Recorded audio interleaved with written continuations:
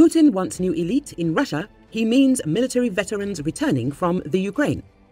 Military veterans returning from the Ukraine conflict should become Russia's new elite. President Vladimir Putin has proposed. Putin also called on Russian ministers to provide decommissioned military personnel with all the support necessary to facilitate their transition back to civilian life.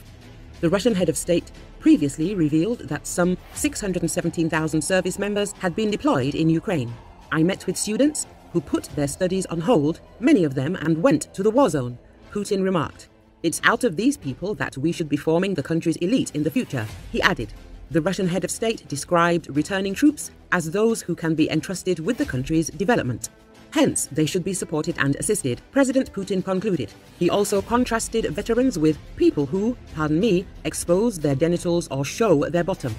An apparent reference to a private party featuring an almost naked dress code organized by prominent Russian blogger Anastasia Ivleeva in Moscow last month. Photos and videos from the event, which was attended by Russian celebrities, mostly pop artists, ended up on the internet, scandalizing conservative activists and authorities alike.